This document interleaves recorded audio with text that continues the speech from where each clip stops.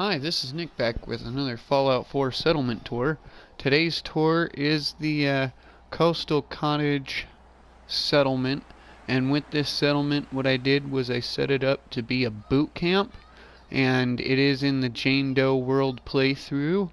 So, if there's anything that you see here that I did that you liked and want to know how I did it, have questions concerning anything in general, or notice things that I did to this boot camp that would be wrong for a boot camp, go ahead and leave a comment below and I will take them under advisement and add and subtract and multiply and do all the things that need to be done to make it a viable boot camp. So, with this boot camp as well, we uh, are non-dominational so you can send anybody here that you want. Gunners could come here to train. Brotherhood of steel minutemen railroad if there were any could all send their people here to be trained. We got our commons area out here where you know you have your regular just getting assigned push-ups doing your thing getting ready to run the track all that kind of thing. Um, back there we'll show you once I get back around.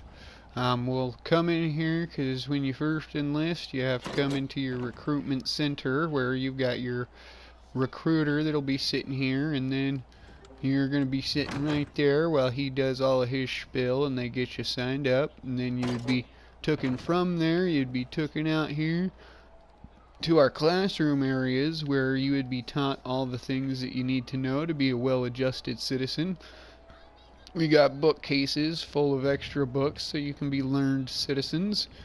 And all of the desks have their own book in them, and all the desks have their own chairs. You've got a pretty decent view to look out when you're not paying attention to the instructor giving his lessons. We've got a chalkboard for him to, you know, write out the lessons on. And we've got posters and educational material through here Right over here we've got the restrooms where we've got a full shower in there. And that's, you know, me tinkering around trying to make the best I can because there's not one. We uh, got a sink and mirror. We've got posters indicating keep yourselves clean. We got our kitchen through here, which is stocked up to the gills with anything that you may need and a dish rag if you need to clean your face or dishes. We got a clock because all kitchens need a clock. And with this settlement here, I tried to use the conduits as much as possible. So uh, there isn't any wires really hanging out and around. There's a few, but they're for essential purposes. Right through here, we've got our tech room, which is, you know, got a computer in it and a couple desks and, you know, our educational literature. We've got our cafeteria here that's got, you know, some stuff for food services and we've got chairs and another really good looking view out over the coast. We'll uh, go this way and drop right down our stairs to our officer quarters slash haircutting centaur where we've got people who are waiting, they can read a paper and the guy that's crying can be crying while he's getting his hair cut. And we got, you know, posters around for your artistic values. Right in here, we've got our officer quarters. Oh, I'm forgetting the basement. Right down here, we've got our basement, which there's not a lot going on down here. Here's my chuck. That's supposed to be upstairs in the classroom. I learned something while doing this build that you can, you know, drop your items and pick them up like I'm gonna do right here with the rolled up newspaper. But the problem with that ends up being if you fast travel enough times here, it's gonna drop through the floor and you'll find it in your basement.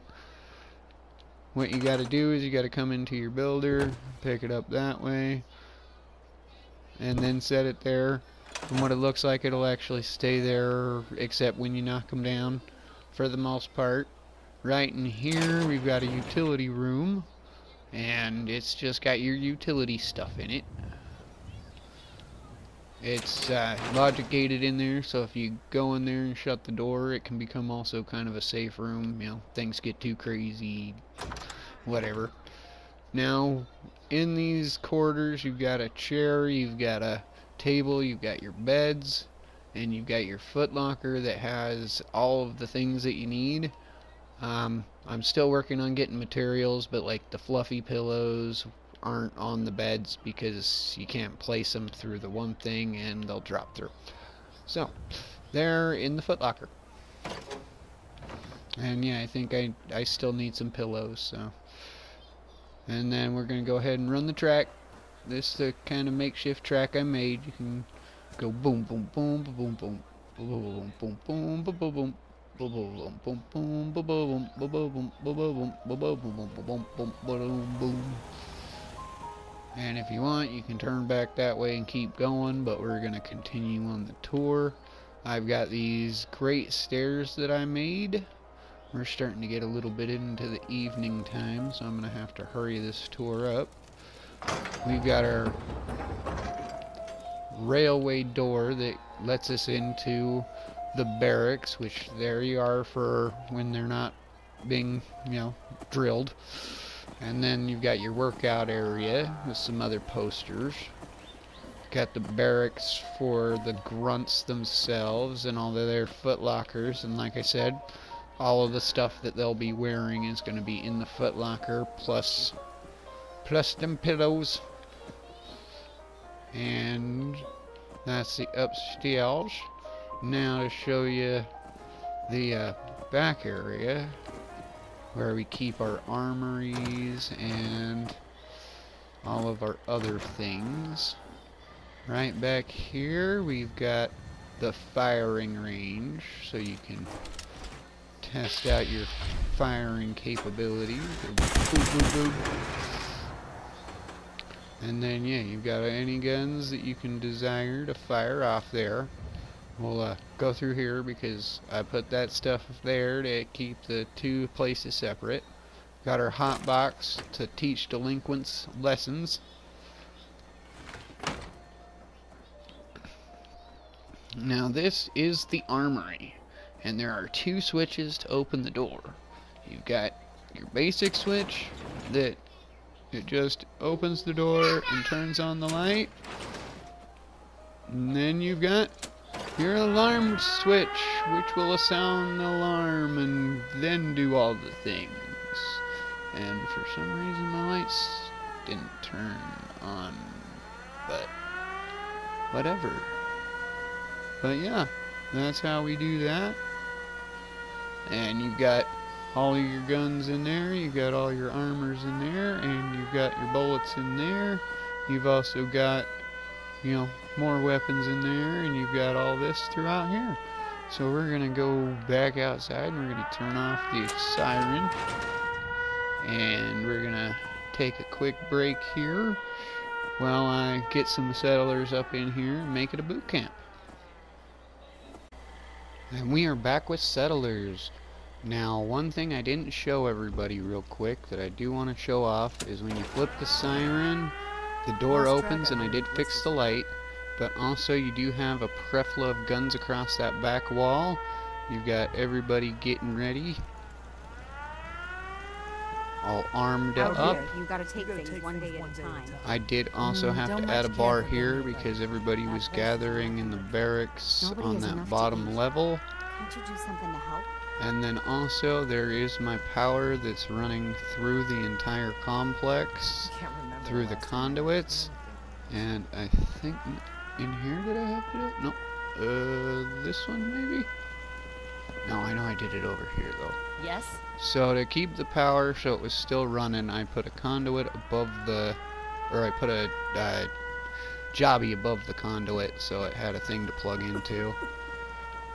And we will go turn that off and we will end the tour. you up to see Graygarden, you should go. That place is run by robots. That was everything. Alrighty, just one more thing I wanted to show off before we ended the tour itself. when I did put these bunk beds together, I guess I didn't pay close enough attention to them that uh, some people sleep the wrong way in them. But, you know, as long as you pay attention to that, you can get them right. But I also think that it's adds a little bit of realism to it because I could totally see somebody doing that. Thank you and have a good day. Bye bye.